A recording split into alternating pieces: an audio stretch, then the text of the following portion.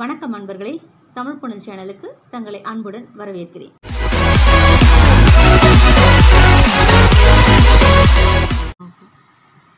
நாம் வாழும் வாழ்க்கையில் நம்முடன் வாழும் சக மனிதர்களிடையே எத்தனை எத்தனை வேறுபாடுகளை நாம் காண்கிறோம்.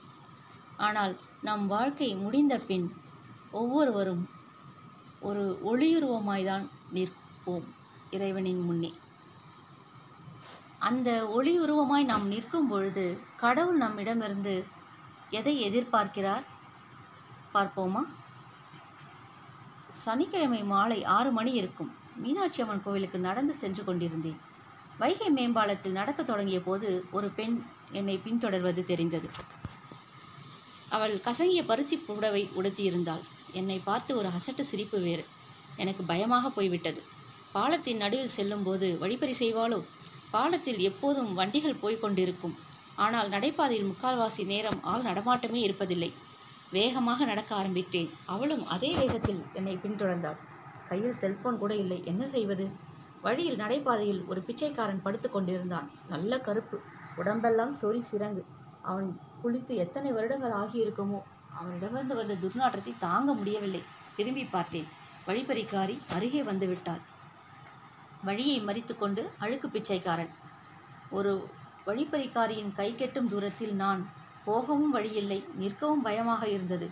அம்மா பச்சை புடவைக்காரி என்று அலறினேன். உனக்கு அருகில் இருக்கும் என்னை அழைக்க ஏன் இப்படி காட்டு கூச்சல் போடுகிறாய்? திடுக்கிட்டு திரும்பினேன். ஆமாம் அவள் வழிப்பறி கொள்ளைக்காரியேதான். எங்கோ வழி தெரியாமல் திண்டாடி தவித்துக் கொண்டிருந்த என்னை தன் வழிக்கு திருப்பி என் இதயத்தை என்னிடமிருந்து பறித்து கொண்ட அழகிய வழிப்பறி கொள்ளைக்காரிதான். என்னை என் தன் கொத்தடிமையாக வைத்து கொண்டிருக்கும் கோலக்கிளி. உங்களை பின்தொடர்ந்து இந்த உலகமே வந்து கொண்டிருக்கும் போது நீங்கள் என்னை தொடர்ந்து வருகிறீர்களே அம்மா. எல்லாம் உன்னை காப்பாற்றத்தான். தாயே என்று அலறியபடி அவள் காலில் விழுந்தேன். இந்த முறை உனக்கு மேலான ஞானத்தை தரப்போகிறேன். வார்த்தைகளால் அல்ல செய்முறை விளக்கமாய். அதுதான் நான் கேட்ட கடைசி வாக்கியம். எனக்கு என்ன ஆயிற்று? கதை முடிந்து விட்டதா? அப்படித்தான் இருக்க வேண்டும். அவள் காலடியில் விழுந்து கிடந்த அந்த நொடியில் உயிர் பிரிந்ததே. எத்தனை பெரிய பேரு உடலை உகுத்தாகிவிட்டது. வெறும் ஒளியுருவாய் அன்னையின் சந்நிதியில் நின்றேன். முன்னால் அன்னை மாகாளியாக நின்று கொண்டிருந்தாள். என் ஒளியுருவின் அருகில் மற்றொரு ஒளியுருவும் இருந்தது. பாவம் அந்த மனிதரும் அதே சமயத்தில் இருந்திருப்பார் போலும். அன்னை என்னை நோக்கி பேசினாள். உலக வாழ்க்கையை முடித்துக்கொண்டு என் முன் ஒளியுருவாய் நிற்கும் ஆன்மாவே உன் பக்கத்தில் நிற்கும் அந்த ஒளியுருவை பார் பார்த்தேன். இன்னும் உன்னிப்பாக பார். உனக்கும் அந்த ஒளியுருவிற்கும் ஏதாவது வித்தியாசம் தெரிகிறதா? இது என்ன தாயே விளையாட்டு? ஒளியுருவங்களில் எப்படி வித்தியாசம் தெரியும்? இருவரும் ஒளிக்கீச்சு தான் எங்களுக்கு வடிவம் இல்லை நிறம் இல்லை ஏன்? ஒளியின் தன்மையில் கூட வேறுபாடு இல்லை. நாங்கள் ஏன் இரு தனி கீச்சுகளாக இருக்கிறோம் என்பதுதான் தெரியவில்லை. அன்னை கலகலவென்று சிரித்தாள்.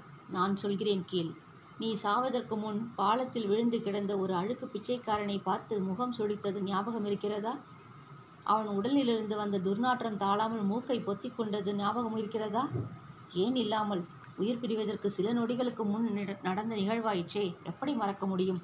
அந்த பிச்சைக்காரன் தான் உனக்கு அருகில் நிற்கும் இந்த ஒளியுருவம். அந்த நிலையிலும் யாரோ சொடேர் என்று என் மண்டையில் அடித்தது போல் இருந்தது.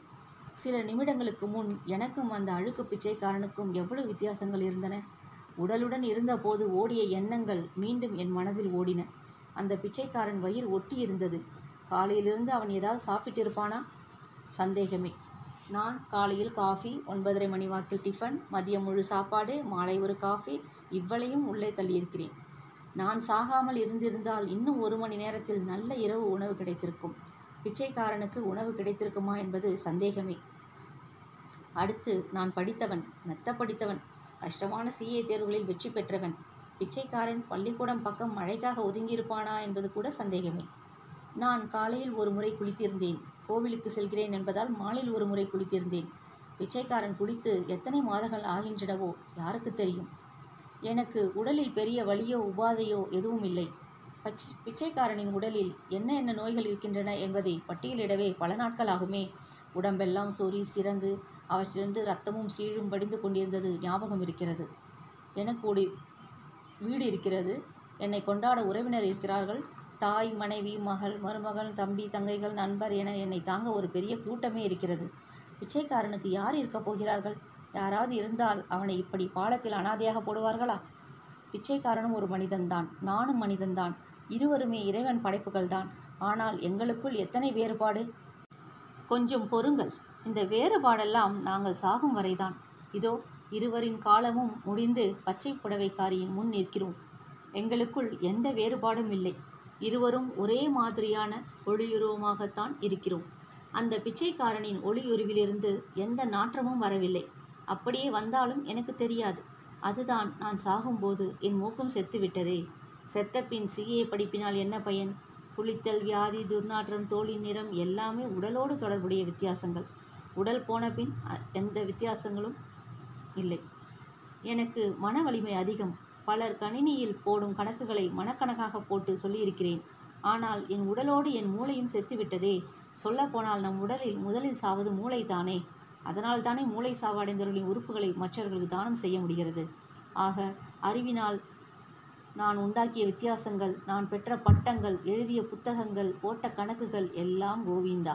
இதோ எல்லாம் முடிந்த பின் எஞ்சி இருப்பது ஒரு ஒளிக்கீற்றுதான் இந்த பட்டய கணக்கனுக்கும் அதே ஒளிக்கீச்சுதான் அந்த அழுக்கு பிச்சைக்காரனுக்கும் அதே ஒளிக்கீச்சுதான் முன்னால் ஆகாயத்துக்கும் பூமிக்குமாக விஸ்வரூபம் எடுத்தபடி நின்று கொண்டிருந்த பச்சை புடவைக்காரியை பார்த்தேன்.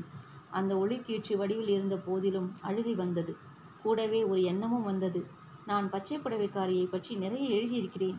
இறை அன்பை பற்றி என் புத்தகங்களில் விளக்கி சொல்லியிருக்கிறேன். அதையெல்லாம் இந்த பிச்சைக்காரன் செய்திருக்க வாய்ப்பில்லை. ஒருவேளை அதற்காக எனக்கு கூடுதல் மதிப்பெண்கள் தந்து என்னை சொர்க்கத்துக்கு அனுப்புவாளோ? இவள் என் எண்ண ஓட்டத்தை புரிந்து கொண்ட பச்சை புடவைக்காரி உருமினாள். நிச்சயமாக இல்லை. உனக்கு என்ன குறை வைத்தேன்? நல்ல பெற்றோர்கள் நல்ல மனைவி மக்கள் உண்மையாக நேசிக்கும் உறவு நட்பு நல்ல அறிவு கல்வி திறமை எல்லாம் கொடுத்தேன். நீ பெற்றதில் பாதி பெற்றவர்களே உன்னை விட பல மடங்கு பெரிய அளவில் எனக்கு பணிபுரிந்திருக்கிறார்கள் அவர்கள் செய்ததை ஒப்பிட்டு பார்க்கும்போது நீ செய்தது ஒன்றுமே இல்லை. அதற்கே உனக்கு அகங்காரம் தலை விரித்து கொண்டு ஆடுகிறது.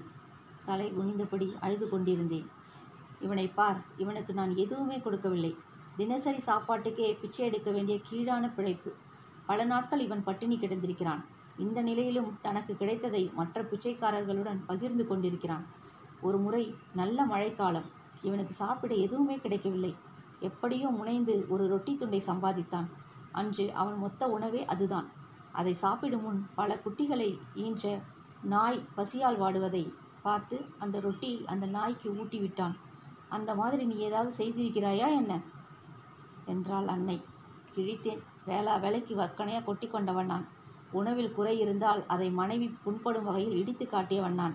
என்னிடம் இருப்பதற்கு மேல் உபரியாக இருந்த பொருட்களை எப்போதாவது சிலருக்கு கொடுத்து உதவி இருக்கலாம் இந்த பிச்சைக்காரன் போல் தன் சாப்பாட்டை ஒரு நாய்க்கு கொடுத்துவிட்டு பட்டினி கிடக்கும் அளவிற்கு நான் நல்லவன் இல்லை.